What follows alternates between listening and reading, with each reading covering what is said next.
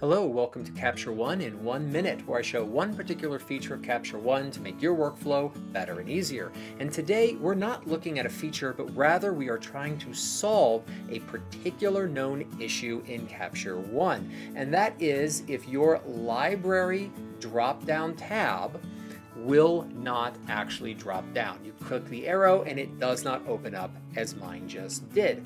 Uh, this, if you have this issue, it can make the software essentially non-functional for you because you can't access the catalog collections or the user collections. Uninstalling the software and re reinstalling it does not solve the problem. What it does is actually very strange, and that is taking this library tool and just dragging it out of what is called the non-scrollable area and into the scrollable area.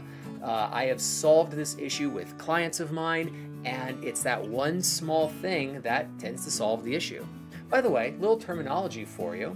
When we have a normal tool uh, tab and all the tools inside of it, there's what's called the non-scrolling area. And these are tools you have constant access to. So here I have a black band right there. And as I scroll, it does not scroll away from the histogram, which I always want accessible. And so it stays in my non-scrolling area.